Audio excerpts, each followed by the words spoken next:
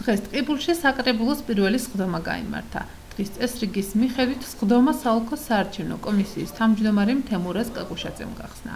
მან საკრებულოში მაჟორიტარული და პროპორციული სიით შესული დეპუტატები წარადგინა. ახლად არჩეული საკრებულო 25 წევრისგან შედგება.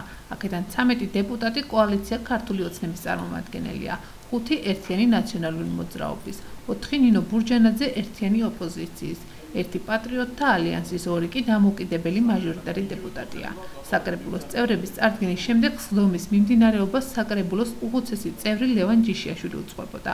სხდომას 24 დეპუტატი ესწრებოდა და ხმათა უმრავლესობით საკრებულოსა და საკრებულოს წევრების უფლებამოსილება იქნა ცნობილი. სხდომას ასევე ესწრებოდნენ საქართველოს პარლამენტის წევრი ტყიბულის მაჟორიტარი დეპუტატი ელისო ჩაფიძე, საზოგადოების მართველი პარტიისა და ოპოზიციის წარმომადგენლები. სხდომაზე საკრებულოს თავმჯდომარის მხოლოდ ერთი კანდიდატურა დასახელდა. კოალიცია ქართული ოცნებიდან ქალაქის მაჟორიტარი დეპუტატის თამაზი კუბლაშვილის. საკრებულოს თავმჯდომარის ასარჩევად ფარული კენჭისყრა გამართა სადაც მონაწილეობა 24-მა წევრმა მიიღო. დასახელებული კანდიდატს ფარული კენჭისყრით ხმა საკრებულოს 10-მა წევრმა დაუჭირა. ფინაიდან კანდიდატმა ხმათა უმრავლესობა ვერ მიიღო აღნიშნულ სხდომაზე თავმჯდომარის არჩევა ვერ მოხერხდა. შესაბამისად სხდომა დაიხურა და სავარაუდოდ თავმჯდომარის არჩევა მომავალ საკრებულოს სხდომაზე მოხდება. ნინო ბურჯანაძე ერთიანი ოპოზიციის წარმომადგენლების ერთმა ნაწილმა სხდომის დახურვა გააპროტესტა და განაცხადა, რომ ამ ქმედებით კანონი დაირღვა. ფინაიდან საკრებულოს თავმჯდომარე ამავე სხდომაზე უნდა არჩეულიყო. თუმცა ამავე პარტიის წევრ საკრებულოში ლევან ჯიშიაშვილს ამასთან დაკავშირებით განსხვავებული მოსაზრება აქვს.